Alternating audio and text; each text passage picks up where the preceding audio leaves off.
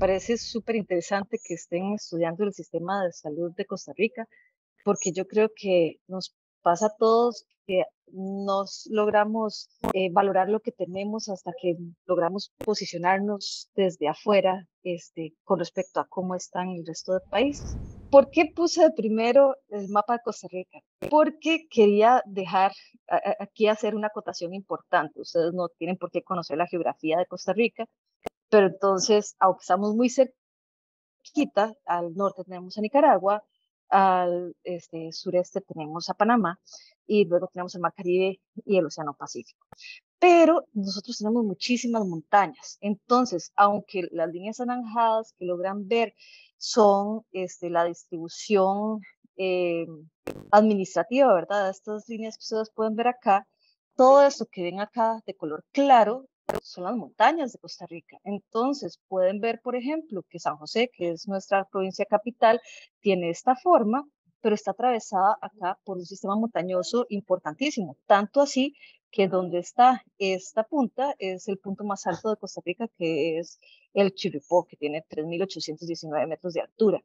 Entonces, la geografía juega un papel importante en la forma en la que está distribuida administrativamente, por ejemplo, la caja porque este, de hecho la caja y muchas instituciones públicas no siguen la distribución administrativa eh, geopolítica, digamos, de Costa Rica, sino más una lógica geográfica que hace mucho más fácil, por ejemplo, la conexión entre los diferentes espacios del país. Entonces, por ejemplo, se habla de espacio Huetar Norte, que sería esta área norte de Alajuela, o Huetar Atlántica, que es el lado del Limón.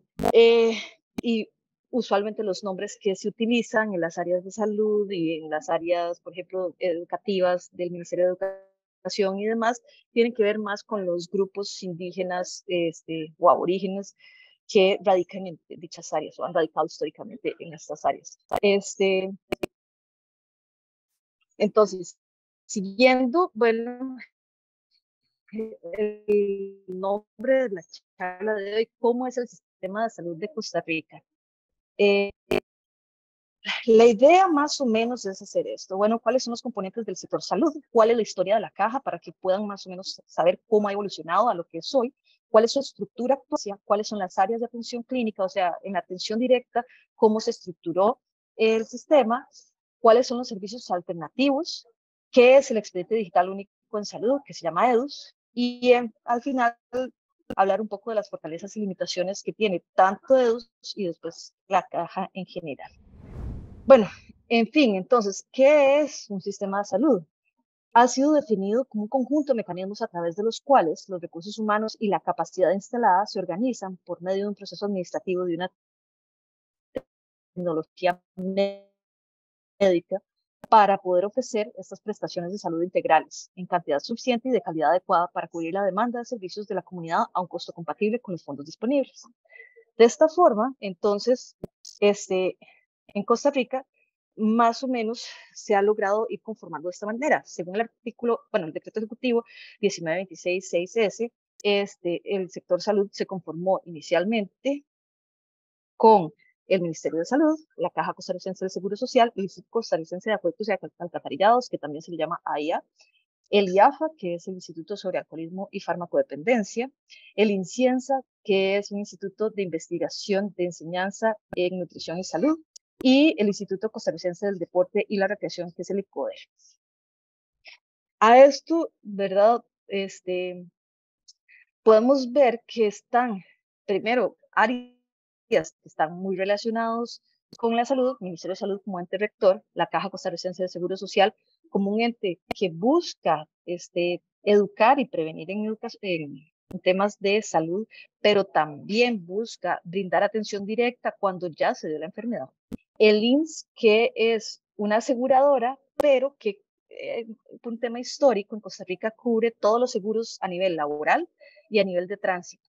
Entonces, el derecho de circulación que tenemos que pagar cada año eh, incluye una póliza que todos los vehículos automotores deben de tener y que va a cubrir en principio cualquier accidente. El tema es que el monto de esa póliza tiende a ser bastante bajo y por lo tanto una vez que se acaba la póliza, eh, sucede lo mismo que sucedería, por ejemplo, en Estados Unidos. Agarran a la persona y la trasladan a la caja donde no importa el monto que uno pague por el seguro, igual lo van a atender. Es más, no importa si paga o no paga seguro, si es una emergencia, igual ser atendido. Em, y bueno, después ampliamos, ¿verdad? El concepto de salud a todos los entornos. Entonces, está la parte de allá. aquí tengo que aclarar. Eh, dentro de la constitución política está el derecho a la salud como parte del derecho a la vida. Y entonces este derecho a la salud ha sido interpretado de una manera relativamente amplia. Y entonces ha incluido el derecho, por ejemplo, a un ambiente sano, a un ambiente seguro. Y por lo tanto, dentro de las políticas de desarrollo en Costa Rica se ha incluido el medio ambiente como uno de esos este, derechos que tenemos que proteger. Entonces, el AIA eh, protege los acueductos y por lo tanto las fuentes de agua. Eh, incluso no estoy segura si ya fue aprobado en la corriente legislativa, pero se estaba protegiendo el derecho al agua como un derecho constitucional y fundamental humano. De ahí también tenemos las universidades, que eh, tenemos en este momento cinco universidades públicas, cada una con sus este, institutos de investigación y demás. Eh, pero también tenemos universidades privadas eh, y, bueno, colegios profesionales y demás que también van a estar a cargo de poder ejercer una, un ente sobre aquellos profesionales que ejerzan este, su protección en el país. Pueden ser cooperativas o pueden ser empresas o pueden, hay varios eh, híbridos interesantes en la caja, como por ejemplo cooperativas autogestionadas de salud que eh, lo que hacen es eh, gestionar eh, infraestructura de la caja para poder brindarle servicios a la población asegurada y cobrarle a la caja por ese servicio. Y usualmente son licitaciones que duran 10, 20 años y después se decide si se renueva o no. Las municipalidades, bueno, son las encargadas en el país de este, todo lo que tiene que ver con limpieza, por ejemplo, de calles, de alcantarillados, eh, de recolección de basura. Y en sí las comunidades, acá hay varios programas de comunidades organizadas que tienen que ver con todos los aspectos, desde, por ejemplo, las escuelas tienen juntas de educación, y entonces son los que deciden cómo gestionar los fondos de la escuela eh, las municipalidades también tienen fuerte este, participación de la comunidad y entonces, ¿verdad? El, ornato de los espacios públicos, que haya, por ejemplo, eh, parques con áreas para niños o que haya este, skate parks para que no anden en la acera o no estén en la calle y se pongan en riesgo. Este, en fin, no solamente gestionar directamente la atención a la enfermedad, sino también todas las áreas que permitirían que sea preventivo y no lleguemos a la enfermedad, hablando de salud en este, su concepto más amplio. Entonces, por lo menos acá en Costa Rica, usualmente cuando la gente habla de salud, no hace diferencia entre estos seis conceptos, salud y enfermedad, promoción de la salud, prevención de las enfermedades, atención de la enfermedad y qué es el seguro social. De hecho, eh, de las cosas eh, interesantes es que mm, tenemos Ministerio de Salud, pero la seguridad social es de otro ministerio, que es el Ministerio de Trabajo y Seguridad Social. Y aún así no es considerado como parte del área que va a supervisar o a este, trabajar con sí, la Caja Costarricense de Seguro Social, ¿verdad? Es un poco irónico en temas de lenguaje, pero bueno, sigamos. Entonces, si vamos a considerar los roles principales de las eh, instituciones estatales que van a estar relacionados con la promoción y la atención de la salud, para mi gusto, estas serían las tres principales. Ministerio de Salud como esta punta de lanza que nos va a definir el norte en cuanto a qué es lo que tenemos que buscar alcanzar, ¿verdad? Entonces lleva las estadísticas de todo lo que está pasando a nivel privado y a nivel público, este, eh, va a definir los estándares de atención y va a definir, por ejemplo, este, cuál es el esquema de vacunación a nivel nacional. Y este, la Comisión Nacional de Vacunación, eh, de hecho, cuando gestiona este esquema de vacunación, eh, se vuelve un, esquema obligatorio para todos los niños primero, para el cual no importa si los niños están asegurados o no, si son nacionales o extranjeros, es parte de lo que se, se establece eh, relevante, eh, lo cual obviamente ahora durante la pandemia ha generado muchísima controversia con el tema de la vacunación obligatoria, porque incluso se incluyó la vacunación para adultos como obligatoria, con repercusiones legales para aquellos funcionarios públicos que no quisieran vacunarse. Este, y este, la caja es el que aplica las vacunas, entonces usualmente es el Ministerio de Salud quien hace toda la negociación con la OPS para la compra de las vacunas y la caja es quien se encarga de su distribución y aplicación, mantener la cadena de frío, etc.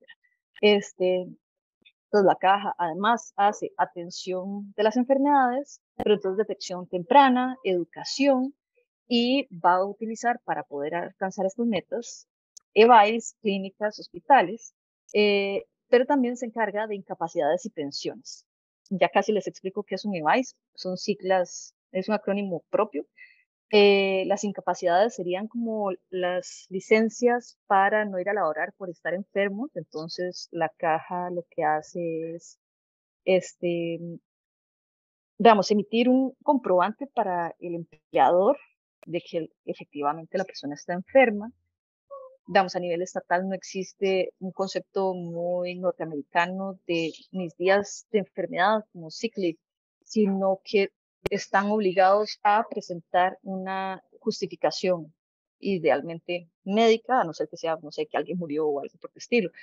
Si no presentan esta justificación, este, es una causal de despido. Y los primeros tres días se supone que el salario sería cubierto por el patrono Después de eso, la caja paga un estipendio de un 60% del salario declarado este, por parte del este, empleador a esta persona que está incapacitada. Y puede suceder, por ejemplo, tuvo una apendicitis y entonces tiene que descansar un mes o eh, tuvo un accidente de tránsito, en ese caso eh, va a depender de muchos factores, pero en principio tendría que ser el INS quien este, lo atienda y ellos también pueden incapacitar en esos casos, con una diferencia de que el, el subsidio o estipendio es del 80%. Entonces, el INS tiene dos áreas.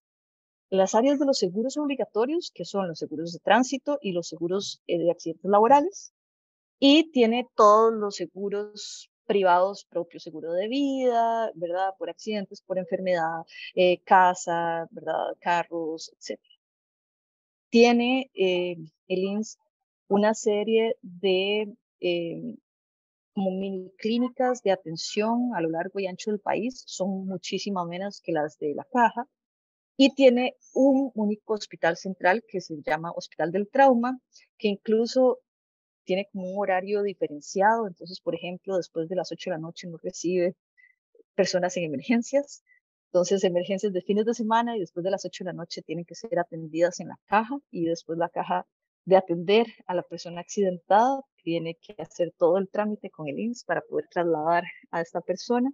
Eh, y el INS lo recibirá sí y solo si tiene una póliza que todavía no se haya gastado con lo que en teoría tendría que pagarle a la caja por lo que ya este, ejecutó o este, gastó en atención de esta persona.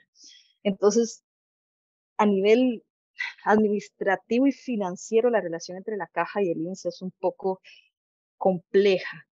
Y honestamente no sé si se hacen efectivos los pagos de los traslados que se hacen entre uno y otro, porque una vez que se acabe la póliza, siempre el INSS va a devolverlo a la caja. Y bueno, acá la población general siempre van a pensar que estos son los tres entes que se encargan de dar la atención en salud. Y entonces llegando ya a la caja, este, estos serían como los hitos más importantes. En mayo de 1941, el doctor Calderón Guardia, presidente en la fecha, eh, decide eh, fundar, digamos, o crear la Caja Costarricense de Seguro Social. Eh, más que nada inspirado en la iniciativa alemana que eh, eventualmente en los años 20 fue llevada a Chile y que de hecho en Chile tenía exactamente las mismas siglas, Caja Chilena de Seguro Social, acá fue trasladada y solamente se cambió el significado de la segunda C. Eh, inicialmente, en realidad, este, era solamente para ciertos trabajadores eh, y con el, el paso del tiempo vamos a ver cómo se fue ampliando. En 1943 se creó el seguro de invalidez, vejez y muerte. Y como les decía antes, la caja tiene la dualidad de no solamente atender el tema de la salud de enfermedad, digamos, y la maternidad, de hecho el, logo de la caja es una madre con su hijo, sino que también ve todo lo que tiene que ver con la discapacidad. Entonces, maneja todas las pensiones. Y por lo tanto, ahí es donde la parte económica se vuelve todavía más delicada en su sostenibilidad a largo plazo ya que nuestra eh, pirámide poblacional cada vez se va invirtiendo más y digamos del año, si no me equivoco, 1995 al año 2015 más o menos aumentó un 55% la población costarricense. Y pasó después de eso la natalidad de estar en como un 2.8, ahora está como en 1.7. Entonces vamos a llegar a un punto dentro de más o menos 20 años en que vamos a tener cinco veces la cantidad de adultos mayores que tenemos ahora sin tener la cantidad de jóvenes cotizantes que tenemos en la actualidad. Aquí en 1948 se dio una guerra civil y entonces don, eh, el doctor Calderón Guardia eh, fue expulsado del país, pero eh, cuando se dio la nueva constitución en 1949, una cosa muy positiva fue que se incluyó la Caja Costarricense de Seguro Social dentro de la Constitución y por lo tanto, al tener la institución rango constitucional, poderla desaparecer es legalmente más difícil. Probablemente no imposible porque no existen cosas imposibles, pero le da una mayor protección a nivel jurídico. Seguimos para el 12 de mayo del 61 eh, se faculta la caja a la universalización de los seguros sociales. ¿Y eso qué quiere decir? Que entonces va permitiendo la cobertura que se brinda. Eh, por ejemplo, ya para 10 años después, en el 71, se logra cubrir a todos los obreros, porque como les decía, inicialmente solamente eran ciertos trabajadores, usualmente empleados del Estado, después ya se incluyeron trabajadores manuales, como zapateros y demás, y ya cuando cubre a todos los obreros, incluye incluso a trabajadores agrícolas. En 1973 se da el traspaso de todos los hospitales a la caja. Y entonces acá explico. En el país, antes de que existiera la caja, existían, bueno, creo que como en toda América Central, probablemente en gran parte de Sudamérica, una serie de empresas fruteras que tenían sus propios hospitales, dado que traían a extranjeros a laborar en los puestos de jefatura. Y entonces habían por lo menos dos o tres hospitales que tenían esas características, tanto en el Caribe como en la zona sur. Eh, después habían hospitales de caridad, el San Juan de Dios, que creo que la Hermandad de San Juan de Dios ha fundado hospitales por toda América Latina y en España también tenía varios y eran manejados y administrados por monjas. Eh, de ahí eventualmente se creó el Hospital de Insanos, hoy llamado Hospital Nacional de Salud Mental, antes de ellos llamado Hospital Nacional Psiquiátrico. Y con él se creó la Junta de Protección de Insanos, que hoy se llama la Junta de Protección Social de San José. Y entonces ahí fue donde se legalizaron las apuestas en Costa Rica. La Lotería Nacional Legal es eh, toda organizada por la Junta de Protección Social de San José y ellos eran quienes financiaban a los tres, cuatro, no, tres hospitales eh, que eran de caridad. El hospital psiquiátrico, el San Juan de Dios y un hospital Raúl Blanco Cervantes que era de pacientes físicos. Cuando pasan todos estos a la caja, entonces se reforma la ley de la Junta de Protección Social y el 95% de las ganancias de la Junta son distribuidas para interés social. Entonces, una parte va a la Caja Costarricense de Seguro Social, otra parte va a hogares de ancianos, a centros para personas con discapacidad, eh, hogares diurnos eh, y demás. En general, de hecho, tienen un fondo concursable donde si se llenan la documentación necesaria, se puede solicitar fondos para proyectos específicos, eh, con la condición que está hecho para poder equipar centros, no para mantener salarios de personas, porque si no se vuelve insostenible el sistema. Y para el año 1975, la caja se hace cargo de las pensiones del régimen no contributivo. ¿Por qué se vuelve esto relevante? Porque entonces eh, no solamente estamos financiando el tema de atención en salud, sino que la atención en salud y la atención de la discapacidad se vuelven una eh, atención solidaria de parte de todos los que cotizamos, incluyo, incluso para aquellos no cotizantes. Y la caja empezó de manera muy humilde. Esta es una fotografía de la primera casa que se alquiló para poder empezar a dar atención a aquellas personas que, estuvieron aseguradas de primeras en este, el año 41. Las dos principales áreas eh, digamos, a nivel organizacional, la caja tiene mucho más y ahorita vamos a mencionar algunas, son el seguro de maternidad y enfermedad, que de hecho inicialmente, antes de los años 70, 50 y 60, usted podía escoger si cotizaba para maternidad y enfermedad, para invalidez, vejez y muerte o para ambas. Y entonces, este, eso generó que hubiese una generación eh, de las personas nacidas años 20 y 30 que pudieran ser atendidas por temas de salud o de enfermedad, pero que no pudiesen pensionarse porque nunca cotizaron por elección propia para este sistema. Y entonces, en el organigrama de la caja digamos, empieza con la junta directiva, que está compuesta, si mal no entiendo, por siete personas, el presidente ejecutivo, que es este, elegido por el presidente del país, em, y después por tres representantes representantes de los trabajadores, que usualmente son propuestos por los sindicatos, y tres representantes de los patronos, que usualmente son propuestos por eh, unidades como UCAEP, que es la Unión Nacional de Cámaras y Empresarios, si no me equivoco. Eh, de tal forma de que son siete, pues decisiones generales son pares de tal forma de que nunca haya un empate en las votaciones. De ahí, hace más o menos tres, cuatro años, se hizo una modificación. Eh, hace muchos años existía gerencia general, la habían quitado, ahora hace como cuatro años la volvieron a crear. Y la gerencia general entonces tiene a su cargo la gerencia médica, la gerencia financiera, gerencia administrativa, gerencia de infraestructura y tecnologías, gerencia de pensiones y gerencia de logística. Y entonces la gerencia de pensiones, por ejemplo, como una forma de poder mantener sus recursos vigentes, tiende a, bueno, tiene planes de préstamo hipotecario para poder de ahí ir ganando intereses a el dinero que va recibiendo y así no perder su valor en el tiempo.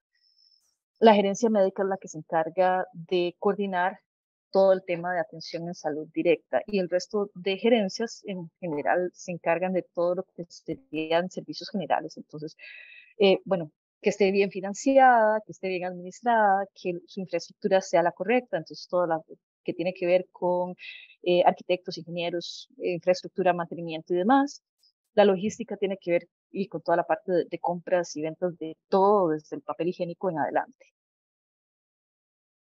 Ok, financiamiento de los servicios de, de atención. Este cuadro me pareció sumamente interesante porque permite integrar tanto el sector público como el sector privado. Y entonces, siempre existe contribución de los afiliados, contribuciones patronales y contribuciones del Estado. La caja es financiada de manera tripartita. Eh, uno de los temas largos que existe es que el Estado le debe a la caja no sé cuántos billones eh, en dinero, eh, después dicen que no y es un pleito constante, pero bueno. Em, los fondos van de esta área tripartita directamente a la caja o a FODESAF, que se llama el Fondo de Asignaciones Familiares. La caja solamente lo eh, distribuye entre sus áreas de atención y el Consejo Nacional de Rehabilitación este, y Educación Especial de Costa Rica, que trabaja directamente con aquellas personas con este, todo tipo de discapacidad físicas y mentales. Eh, a su vez, va a asignar una parte de su financiamiento a la caja, otra parte al Ministerio de Salud.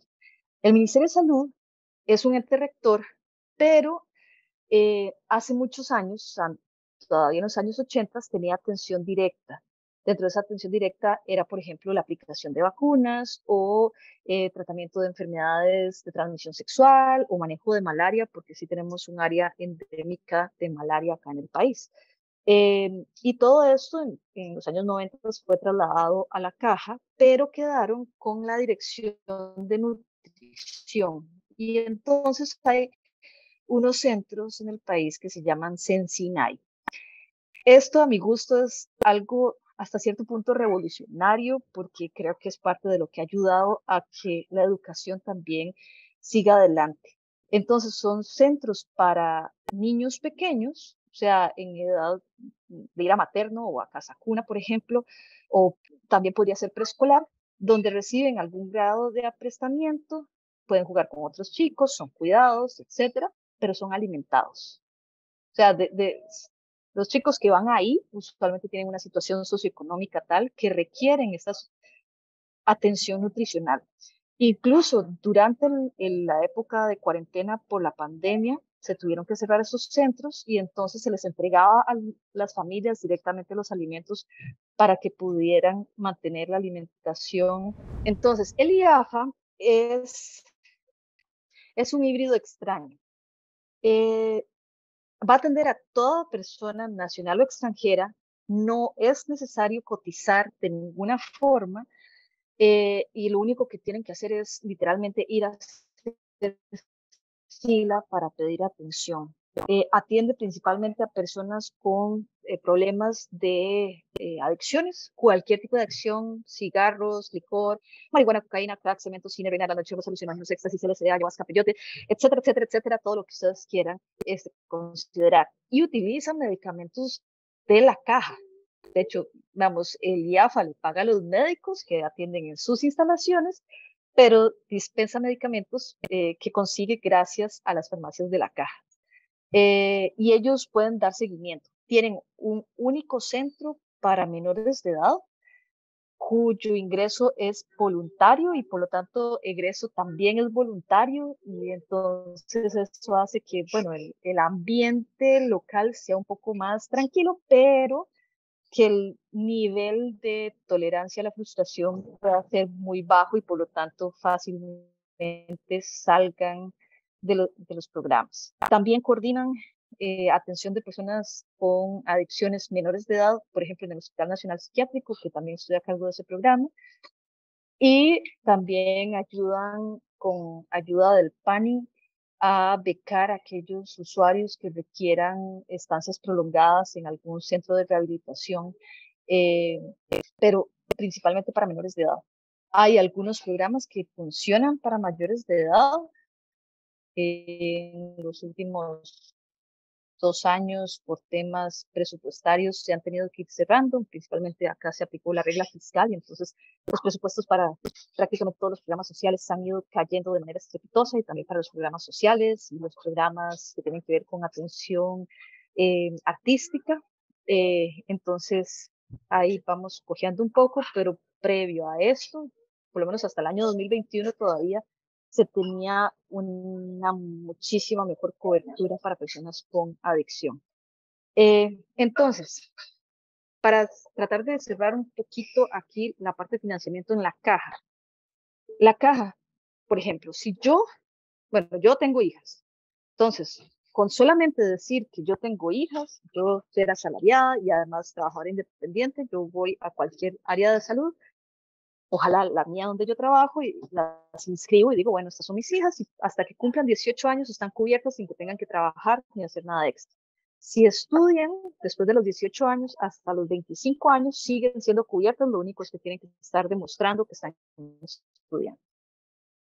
Eh, lo mismo pasa, por ejemplo, para cónyuges. Entonces, si solamente uno de los dos trabaja, eh, con ese, ese mismo aporte se cubre al cónyuge.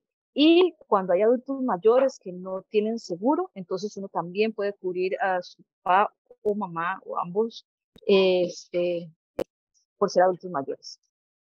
Ahora, personas discapacitadas, con algún tipo de discapacidad, eh, también pueden tener seguro por el Estado.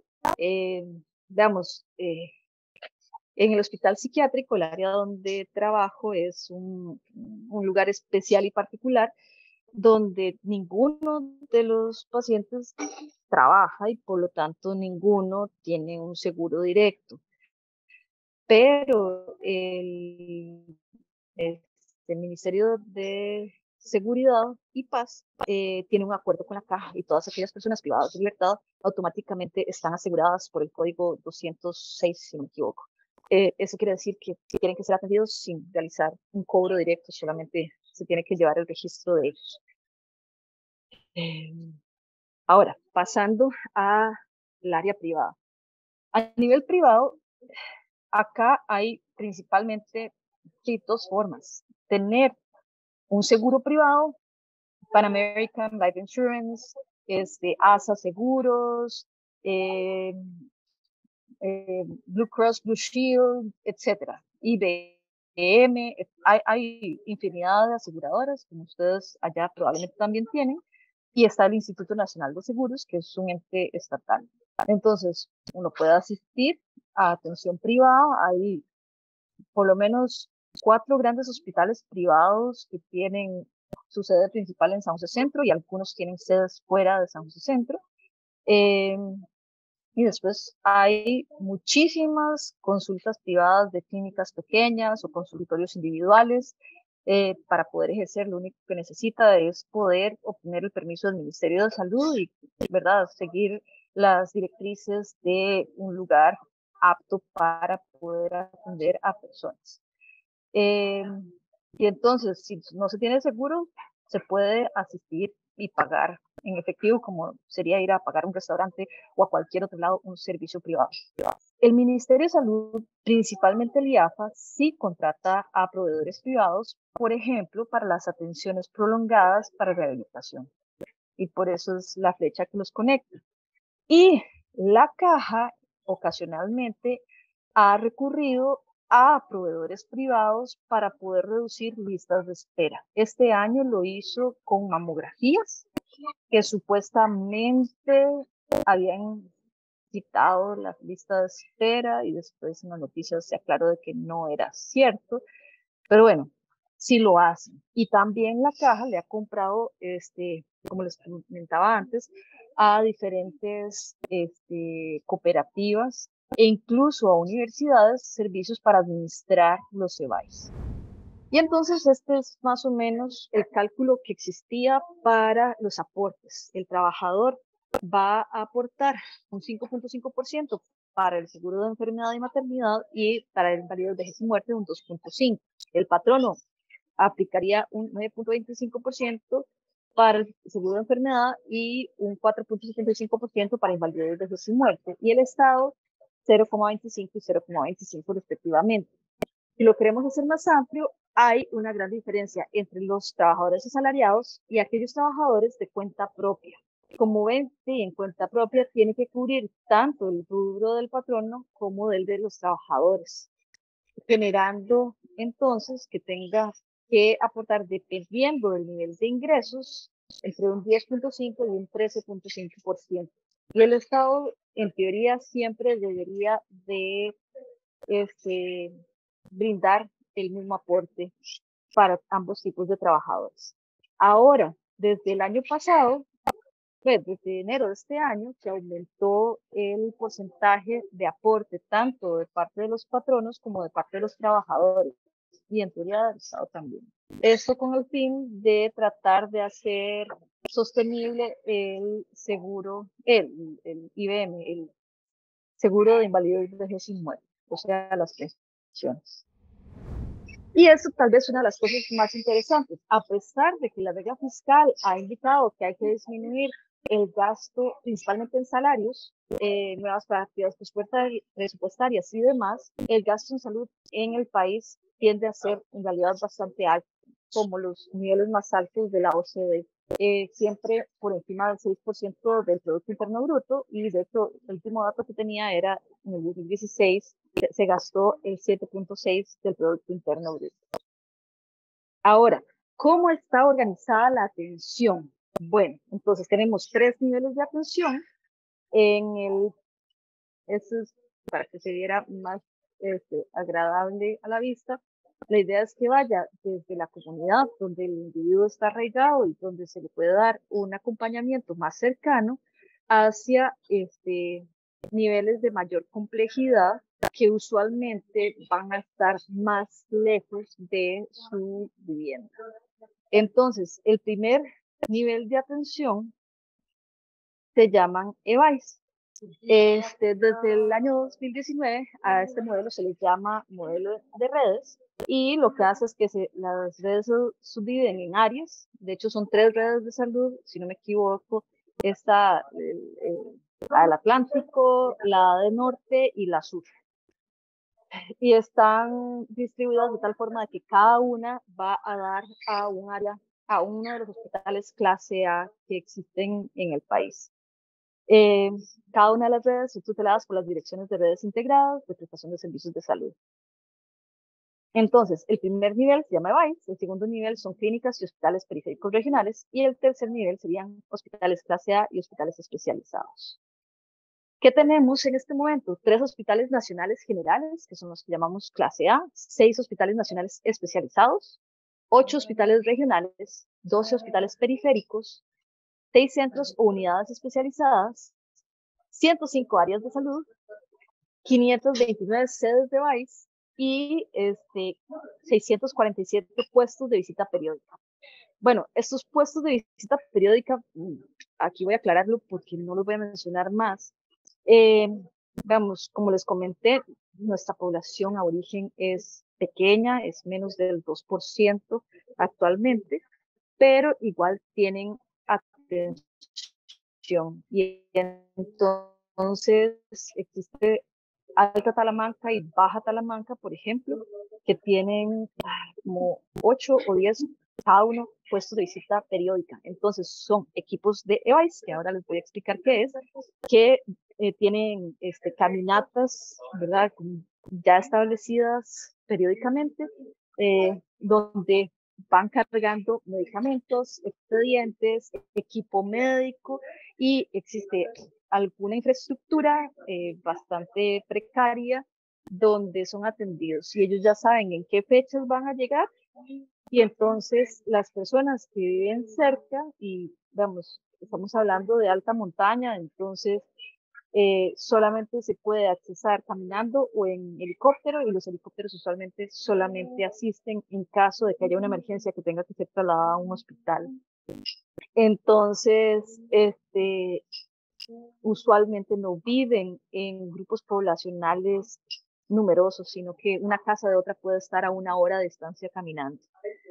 Entonces, es, estas visitas periódicas han permitido hacer la diferencia en temas de, por ejemplo, eh, sobrevivencia en los partos que se complican o en aquellas personas que sean eh, mordidas por serpientes y demás. Incluso personas que no sospechaban tener cáncer y entonces este, son detectadas en una de estas visitas periódicas.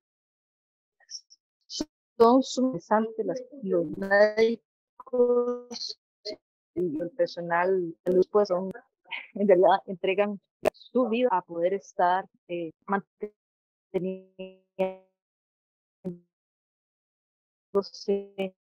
eh, al cuidado de los hospitales clase todos están en San José e irónicamente están así como dos kilómetros de distancia uno del otro.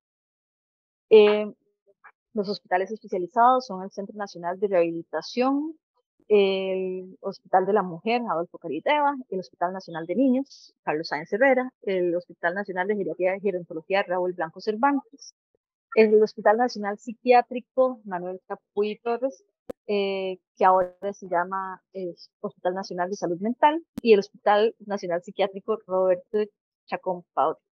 Este segundo apareció una vez que la población de pacientes crónicos del Hospital Chapuy era inmanejable y entonces como una forma de poder separarlos y poder trabajar de manera más especializada dependiendo del nivel de deterioro funcional, este, fueron estratificando a la población y actualmente se puede decir con muchísimo orgullo que tenemos por lo menos unos seis años en que no se tienen, por lo menos en el Hospital de Salud Mental, este, ningún paciente crónico, o sea, que viva ahí como sucedía antes.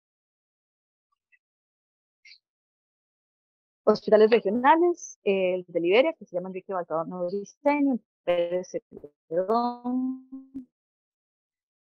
el Fernández Escalante Pradilla,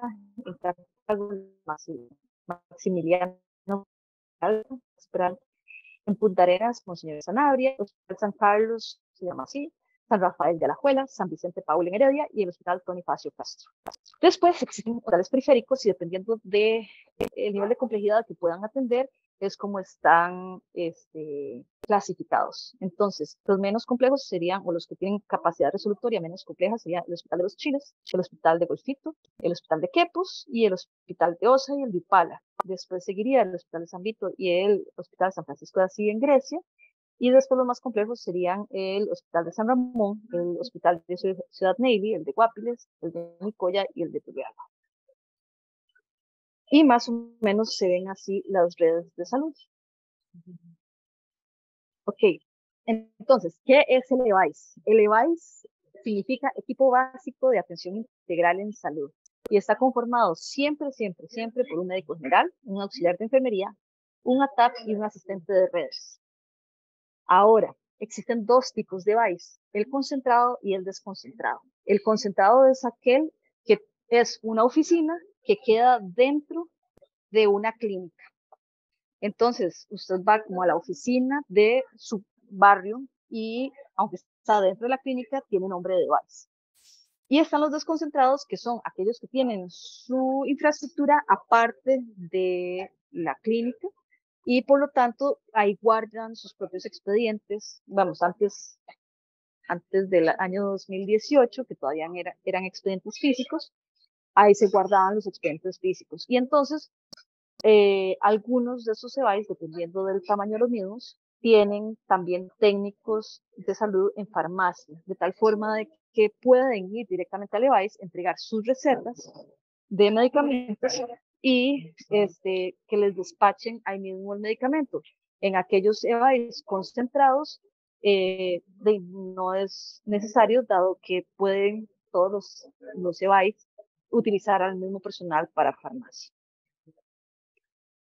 Y entonces, como les hablaba, hasta el año 2018 los expedientes eran físicos y entonces cada área de salud, cada device, clínica y demás tenían sus propias carpetas, que usualmente solamente se movían de un lugar a otro cuando, eh,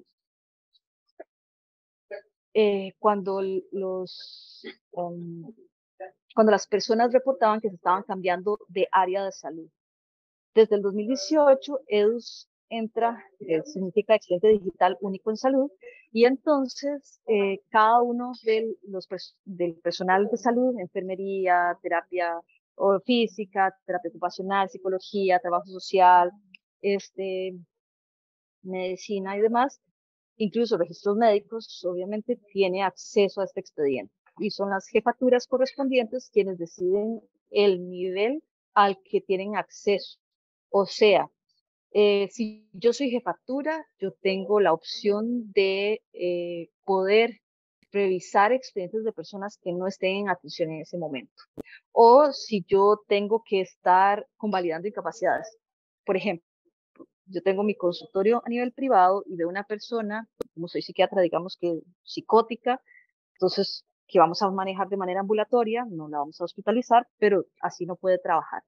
Entonces yo debo de hacer un certificado médico, dárselo a la persona o en este caso a sus familiares y estos familiares deben de llevarlo al área de salud para que ahí sea convalidado y se haga una incapacidad.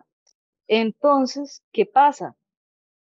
Que, bueno, mucha gente utiliza esto eh, con otros fines, pero eh, usualmente en las áreas de salud hay algún médico general que es quien evalúa los certificados médicos con respecto a la información que brinda y decide si hay que citar a la persona para decir si se le da la incapacidad o si la situación es suficientemente severa como para simplemente brindar la incapacidad por el tiempo que se está recomendando. Em, veamos. Eh, ok, eh, aquí hay una pregunta que me parece muy interesante. En Costa Rica, ¿quién es la entidad encargada de establecer o negociar con los proveedores médicos hospitalarios los precios o aranceles para los distintos servicios de salud, medicamentos, estudios de laboratorio, honorarios médicos, etcétera? Ok, todos estos hospitales que leí pertenecen a la caja. La caja los administra, entonces le paga directamente a sus médicos y el precio de cada uno de los costos es eh, el valor de, bueno, cuánto me cuesta proveer este eh, servicio y a cuánta gente se lo di. Y entonces usualmente el costo va variando dependiendo de cuántas atenciones se den. Em, eso hace que pueda ser sumamente atractivo para la caja porque un médico especialista en consulta externa, por ejemplo, tiene que atender tres personas por hora y un médico general tiene que ver, si no me equivoco, cinco o seis por hora. Este, y un salario base en este momento con reforma fiscal eh, para un médico general debe estar por ahí de dos mil dólares y para un especialista tal vez un poquito más, como tres mil dólares por reforma fiscal. Antes el tema de pagos era diferente y el pago de los otros profesionales es similar. Eh, antes tenía que ver antigüedad, etcétera, etcétera. Pero a nivel privado, los colegios, los colegios profesionales son los que establecen este, costos mínimos. Entonces, eh, por decir algo, los psicólogos, el costo mínimo para terapia eh, individual, hoy que tuve que revisarlo, es 28.670 colones. Si usted cobra menos que eso por una hora, entonces pueden acusarlo de competencia desleal y abrirle un proceso y podrían sancionarlo quitándole la licencia por uno, dos, seis meses, etcétera, o incluso podrían eventualmente, dependiendo de lo que haga, hacer acusaciones eh, penales más severas. Eh, medicamentos. Uh, Costa Rica es uno de los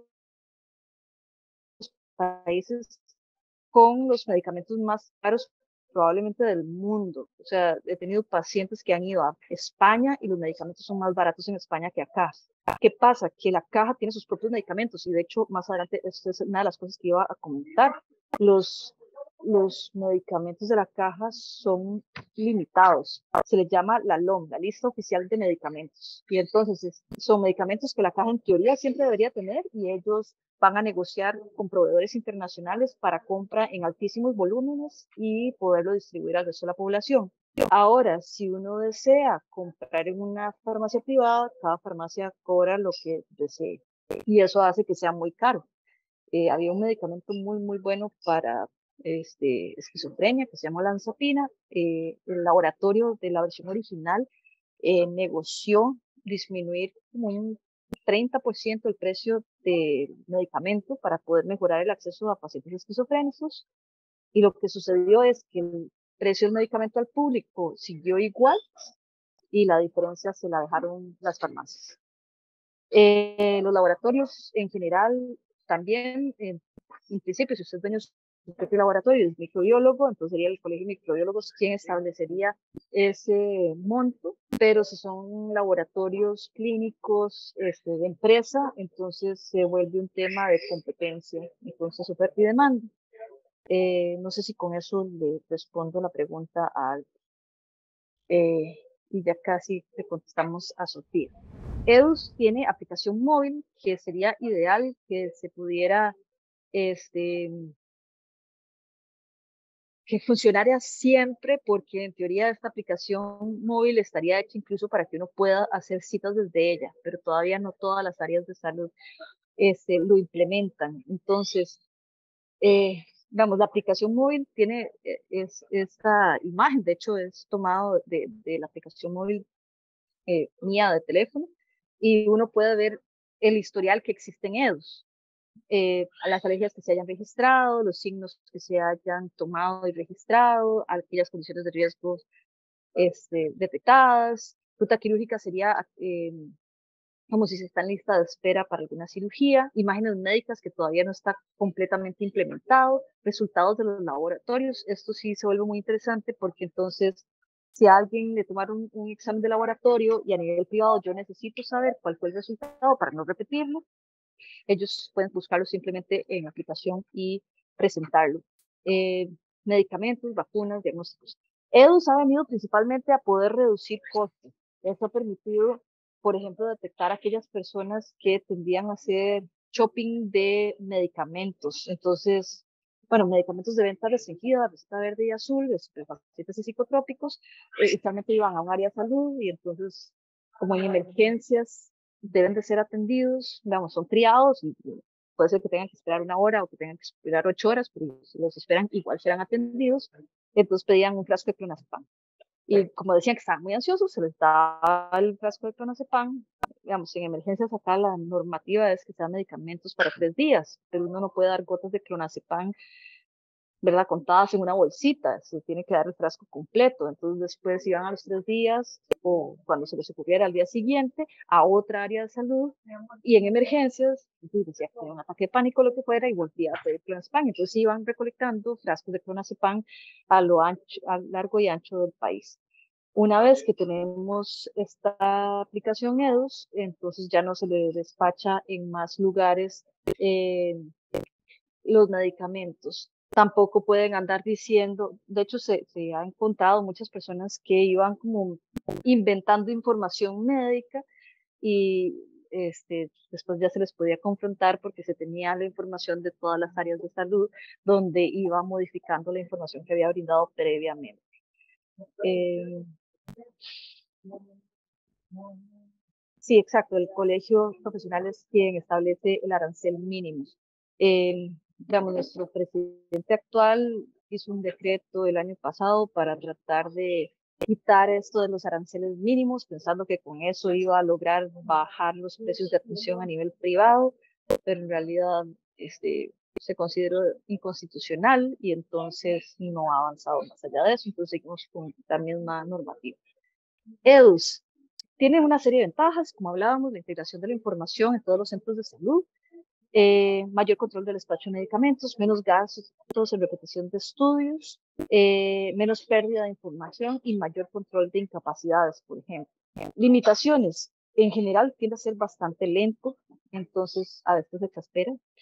Ha habido malas prácticas del uso por parte de funcionarios, o sea, hubo una auditoría donde se detectó que había personas que no tenían por qué tener acceso y lo estaban teniendo. Alta vulnerabilidad, eh, EDUS fue hackeado el 31 de marzo del año 2022 y estuvo caído durante cuatro meses, donde tuvimos que regresar al papel. Em, veamos, desde entonces se han establecido una serie de modificaciones con muchísima mayor control, con limitación de acceso a muchas personas y demás. Eh, ojalá sean útiles y duraderas. Todavía no se ha integrado completamente el módulo de imágenes médicas y, por ejemplo, si alguien llega con documentación a nivel privado que se hizo laboratorios o radiografías y demás, eh, todavía es medio complejo el tema de la integración. Uno tiene que mandarlos con una boleta, registros médicos, ahí se lo escanean, pero si es, por ejemplo, una radiografía y demás, todavía no lo logran integrar.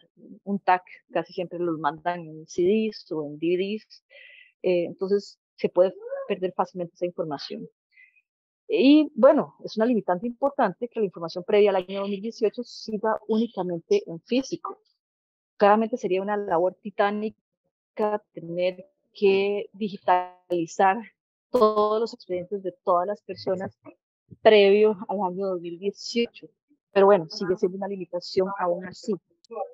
Eh, ok, veamos. Entonces, llegamos a la pregunta que había dejado pendiente. Fortalezas, para mi gusto, la caja tiene muchísimas y el sistema de salud de Costa Rica eh, todavía es considerado por la población general como uno de los sistemas o, de las instituciones insignes de Costa Rica. Eh, o sea, por ejemplo, si alguien empieza a decir, están tratando de debilitar la caja, la quieren privatizar, eso podría generar y ha generado en el pasado movimientos de, de huelga eh, y demás. Eh, entonces, sí, la caja es, es, una institución que forma parte casi que del ADN de los costarricenses. Eh, las limitaciones tienen que ver, uno, con temas de lista de espera. Eh, hay áreas de salud, como les decía, no todas las áreas permiten sacar citas en línea. Entonces, hay gente que se levanta a las 3 de la mañana a hacer fila para poder obtener ficha para ser visto por un médico general ese día. Y hay personas, hasta los llaman gavilanes, a los que pasan haciendo este, negocios turbios, que se van a las 3 de la mañana, que ocupan todos los espacios y después a las 7 de la mañana empiezan a venderle a quien llegó el estampo. Usted puede haber llegado antes que estos que llegaron a vender eh, a comprar campo, y puede ser que usted se quede sin ese espacio. Esas prácticas cada día se van reduciendo más, pero todavía hay áreas donde suceden. Estas listas de espera no solamente se dan en medicina general, también se dan para citas con especialistas. Eh, bueno, yo soy psiquiatra, entonces el área que me conozco es de psiquiatría. Incluso en el Hospital Nacional Psiquiátrico, citas de primera vez andan entre seis meses y un año. Eh, entonces, hay, hay un tema importante que con todas estas reformas fiscales y una serie de situaciones asociadas con el manejo administrativo y de medios y demás que está teniendo el gobierno actual, eh, había una desbandada de especialistas que no solamente de este gobierno, viene desde antes, muchos, este, mucha pérdida de incentivos y muchas limitaciones. Eh, y entonces Veamos, el año pasado hubo una publicación de una investigación de la Universidad de Costa Rica donde hablaba que habían como 120 especialistas que se habían ido de la caja en los últimos eh, tres años. De ellos, las especialidades donde más se iban eran, si no me equivoco, eh, anestesiología, eh, ortopedia y psiquiatría, si mal no recuerdo. Y se siente el principal eh, ente formador de especialistas en el país es la Caja, sea en su convenio con CENDEIS, que es el área de formación o de educación este, de la Caja con la Universidad de Costa Rica o desde el año pasado con la UCIMED, que es otra universidad eh, privada, eh, especialista solamente en educación del área de la salud. Eh, pero igual todos se forman en hospitales de la FAN.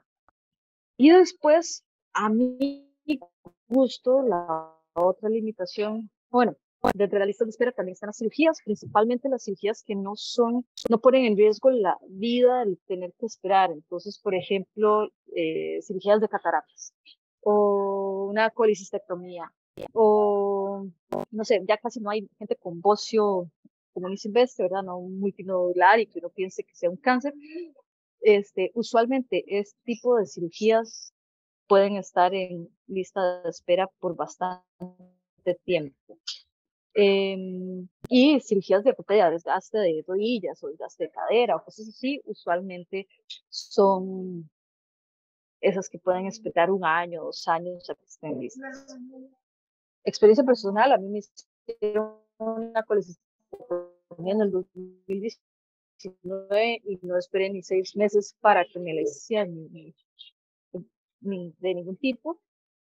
Pero, vamos, creo que cada área de salud, que esa es una de las limitaciones, eh, tiene potestad de organizarse de mejor o peor manera.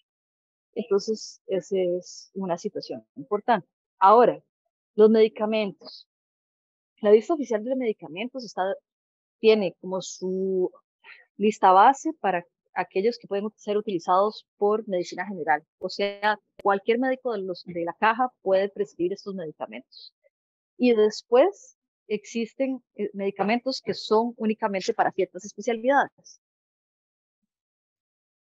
Entonces, aún así, por ejemplo, en psiquiatría hay cinco antidepresivos, seis recientemente, eh, de los cuales solamente dos son para psiquiatría únicamente, y de esos eh, son clomipramina, imipramina, amitriptilina, fluoxetina, sertraína y venlafaxina.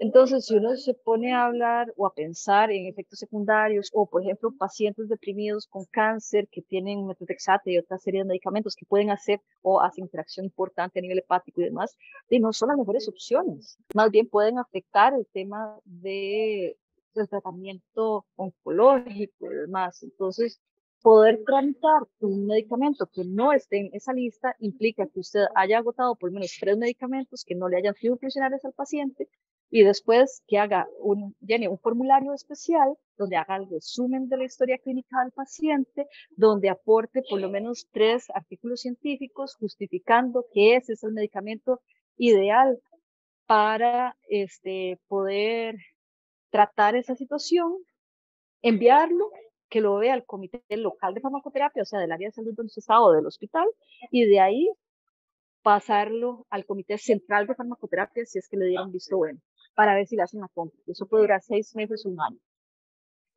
Y dependiendo de la situación, muchas veces la respuesta es no.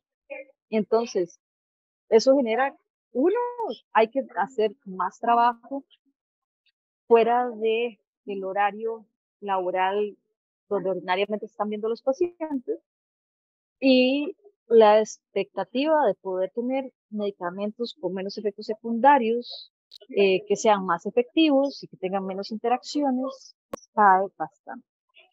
Hay un sistema particular que la caja tiene algo que se llama sistemas alternativos, eh, donde en estos sistemas alternativos eh, tiene dos, dos ramas. Una se llama medicina de empresa. Cada empresa puede contratar a nivel privado su propio médico e inscribir este consultorio y entonces le paga la caja por todos los formularios de recetas verdes, de recetas blancas, de laboratorios, referencias y demás. Y entonces con eso disminuyen el ausentismo de sus colaboradores, tienen una atención más expedita de los mismos y incluso tienen una farmacia especial donde eh, usualmente recogen todas las recetas del día, las llevan a la farmacia y en la tarde recogen los medicamentos y los entregan a los colaboradores de cada empresa.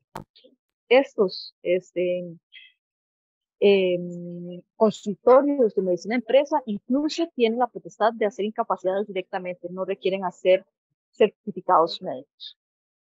Ahora, también existe medicina mixta. Medicina mixta sería para consultorios privados, eh, por ejemplo, yo estoy inscrita en el programa de medicina mixta, uno debe de presentar toda la documentación, eh, títulos, incorporación, estar al día y demás, y con ello poder este, aspirar a brindar todos los servicios extra de la caja. Entonces, yo le pago cada vez que requiero eh, formularios a la caja para poderle recibir a mis pacientes medicamentos de la LOM o referirlos a otra especialidad, a internamientos, etcétera, o pedir electrocardiogramas, este, radiografías, tags, etcétera, exámenes de laboratorio. Como todo tiene sus limitaciones y no todos los medicamentos eh, son ofrecidos ni todos los laboratorios son realizados desde medicina mixta. Pero este, es una opción para aquellas personas que quieren saltarse la lista de espera y aún así no tener que hacer todos los gastos de pagar desde su bolsillo absolutamente todas las necesidades para poder tener una atención adecuada, hacer diagnóstico diferencial, dar medicación, etc. Eh, bueno, la pregunta en sí, ¿cuáles creo yo que son los retos actualmente de la salud en Costa Rica? Creo que por un lado, frenar eh, las iniciativas de tratar de dejar a la caja como un ente débil, mal administrado y pobremente financiado, eh, tratar de lograr copiar la gestión adecuada de aquellas áreas de salud donde logran brindar atención a tiempo, donde las listas de espera se han minimizado y eh, tanto a nivel de primer nivel de atención como de segundo y tercer nivel de atención. Y poder brindar probablemente mayores incentivos a las diferentes, eh, los diferentes actores, por ejemplo, empresas y demás, para tratar de mejorar estilos de vida saludables, porque acá la principal causa de muerte son enfermedades cardiovasculares y también accidentes de tránsito. Entonces, este, son causas sumamente prevenibles y manejables que si se lograse manejar adecuadamente bajarían muchísimo los gastos en atención directa de salud.